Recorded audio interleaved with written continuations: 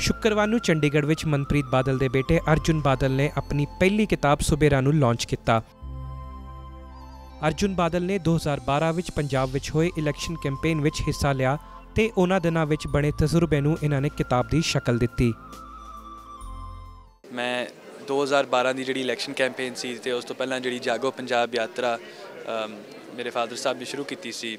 ਮੇਰੇ ਜਿਹੜੇ ਜਿਹੜਾ ਮੇਰਾ ਤਜਰਬਾ ਬਣਿਆ ਉਹਨਾਂ ਮਹੀਨਿਆਂ ਵੇਲੇ ਉਹਦੇ ਤੇ ਬੇਸਡ ਮੈਂ ਕਈ ਆਰਟੀਕਲਸ ਲਿਖੀਆਂ ਸੀ ਤੇ ਉਹ ਆਰਟੀਕਲਸ ਕਾਫੀ ਇਕੱਠੀਆਂ ਹੋ ਗਈਆਂ ਤੇ ਉਹਨਾਂ ਨੂੰ ਉਹਨਾਂ ਨੂੰ ਅਸੀਂ ਇੱਕ ਕਿਤਾਬ ਦੇ ਫਾਰਮ ਵਿੱਚ ਪੇਸ਼ ਕੀਤਾ ਹੈ ਤੇ ਜਿਹੜਾ ਨਾਂ ਹੈ ਸੁਬੇਰਾ, ਇਹ ਪੰਜਾਬ ਦੇ ਜਿਹੜੇ ਤਿੰਨ ਦਰਿਆ ਨੇ, ਸਤਲੁਜ, ਬਿਆਸ ਤੇ ਰਾਵੀ ਉਹਨਾਂ ਤੋਂ ਲਿੱਤਾ ਗਿਆ ਅੱਖਰ ਜੋੜ ਕੇ ਉਹ ਬਣਾਇਆ ਸਵੇਰਾ ਦਾ ਨਾਂ ਇੱਕ ਇੱਕ ਨਵਾਂ ਸਵੇਰਾ ਪੰਜਾਬ ਵਾਸਤੇ ਲਿਆਉਣਾ ਚਾਹੁੰਦੇ ਹਾਂ।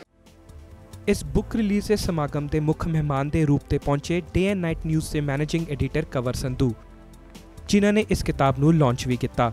ਇਸ ਕਿਤਾਬ ਵਿੱਚ ਪੰਜਾਬ ਦੇ ਹਾਲਾਤਾਂ ਤੇ ਵੱਖਰੇ ਸਮੱਸਿਆ ਨੂੰ ਉਜਾਗਰ ਕੀਤਾ ਗਿਆ ਹੈ। ਬੁੱਕ 'ਚ ਪੰਜਾਬ ਦੇ ਜਿਹੜੇ ਅੱਜ ਦੇ ਹਾਲਾਤ ਨੇ ਕਾਫੀ ਵੱਖਰੇ ਵੱਖਰੇ ਇਸ਼ੂਜ਼ ਬਾਰੇ ਲਿਖਿਆ ਹੈ। ਸਪੋਰਟਸ ਐਗਰੀਕਲਚਰ ਪੰਜਾਬ ਦੀ ਜਿਹੜੀ ਇਕਨੋਮੀ ਹੈ, ਪੰਜਾਬ ਦਾ ਜਿਹੜਾ ਕਲਚਰ ਬਾਰਡਰ ਏਰੀਆਜ਼ ਰਿਲੀਜਨ ਇਹ ਸਾਰੇ ਚੈਪਟਰਸ ਬੁੱਕ ਵਿੱਚ ਹੈਗੇ ਨੇ ਐਂਡ ਇਟਸ ਆਲ ਮਤਲਬ ਇੱਕ 18 ਸਾਲ ਦੇ Punjabi youth in his words ਕਿਸੇ ਵੇਲੇ ਅਰਜੁਨ ਆਪਣੇ ਲਿਖੇ ਹੋਏ ਆਰਟੀਕਲਸ ਤੇ ਕਿਤਾਬ ਲਿਖਣਾ ਨਹੀਂ ਚਾਹੁੰਦੇ ਸਨ। ਪਰ ਉਹਨਾਂ ਦੀ ਮਾਂ ਵੱਲੋਂ ਮਿਲੀ ਹੱਲਾਸ਼ੇਰੀ ਨੇ ਇਸ ਕਿਤਾਬ ਨੂੰ ਜਨਮ ਦਿੱਤਾ। ਇਸ ਕਰਕੇ ਉਹ ਇਹ ਕਿਤਾਬ ਆਪਣੀ ਮਾਂ ਨੂੰ ਸਮਰਪਿਤ ਕਰਦੇ ਨੇ। ਜਦੋਂ ਮੇਰੇ ਮੈਂ ਆਰਟੀਕਲਸ ਲਿਖ ਰਿਹਾ ਸੀ ਜਿਹੜਾ ਆਈਡੀਆ ਸੀ ਕਿਤਾਬ ਬਣਾਉਣ ਲਈ ਇਹ ਆਈਡੀਆ ਮੇਰੇ ਮਦਰ ਦਾ ਸੀ।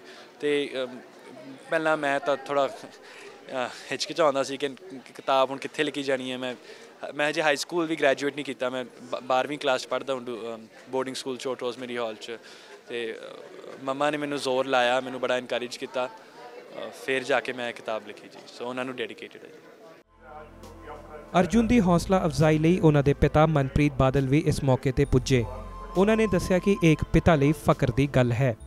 ਕਿਸੇ ਵੀ ਬਾਪ ਵਾਸਤੇ ਬੜੀ ਫਕਰ ਦਾ ਫਕਰ ਦੀ ਗੱਲ ਹੁੰਦੀ ਹੈ ਕਿ ਜਿਹੜੇ ਬੱਚੇ ਹੈ ਔਰ ਖਾਸ ਕਰਕੇ ਅਰਜੁਨ ਵਰਗੇ ਬੱਚੇ, ਜਿਨ੍ਹਾਂ ਦੀ, ਜਿਨ੍ਹਾਂ ਨੂੰ ਪਰਮਾਤਮਾ ਨੇ ਇੰਨਾ ਕੁਝ ਦਿੱਤਾ ਹੋਵੇ ਔਰ ਜਿਨ੍ਹਾਂ ਖਾਨਦਾਨਾਂ ਨੂੰ ਪਰਮਾਤਮਾ ਨੇ ਇੰਨਾ ਕੁਝ ਦਿੱਤਾ ਹੋਵੇ, ਤਾਂ ਫਿਰ ਮੈਂ ਸਮਝਦਾ ਕਿ ਇਹ ਪਰਮਾਤਮਾ ਦਾ ਹੁਕਮ ਹੁੰਦਾ ਹੈ ਕਿ ਉਹ ਆਪਣੇ ਸੁਖ ਰਾਮ ਚ ਨਾ ਬੈਠਣ, ਬਲਕਿ ਜਿਹੜੇ ਸਮਾਜ ਦੇ ਉਹ ਤਬਕੇ ਹੈ ਜਿਨ੍ਹਾਂ ਨੂੰ ਪਰਮਾਤਮਾ ਨੇ ਇੰਨਾ ਨਹੀਂ ਦਿੱਤਾ।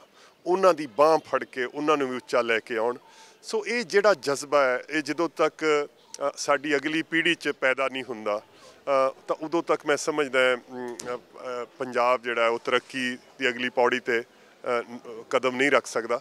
ਸੋ ਮੈਨੂੰ ਖੁਸ਼ੀ ਹੈ ਕਿ ਜਿਹੜੀ ਅਗਲੀ ਪੀੜ੍ਹੀ ਹੈ ਸਾਡੀ ਉਹ ਵੀ ਇਹ- ਇਹਨਾਂ ਗੱਲਾਂ ਤੋਂ ਸੈਂਸਿਟਾਈਜ਼ ਹੁੰਦੀ ਜਾ ਰਹੀ ਹੈ। ਸੋ ਇਹ ਕਿਤਾਬ ਦਾ ਵੀ ਮਕਸਦ ਇਹੀ ਸੀ।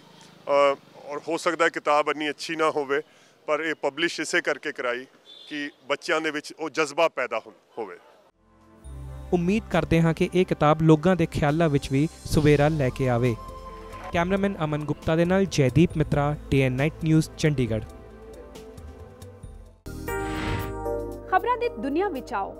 ਸਾਡੇ ਨਾਲ ਕਦੇ ਵੀ ਤੇ ਕਿਤੋਂ ਵੀ ਜੁੜੋ। ਆਪਾਂ ਮਿਲਾਂਗੇ ਫੇਸਬੁੱਕ ਤੇ। ਅਸੀਂ ਦਿਖਾਂਗੇ YouTube ਤੇ। ਸਾਨੂੰ ਫੋਲੋ ਕਰੋ ਟਵਿੱਟਰ ਤੇ।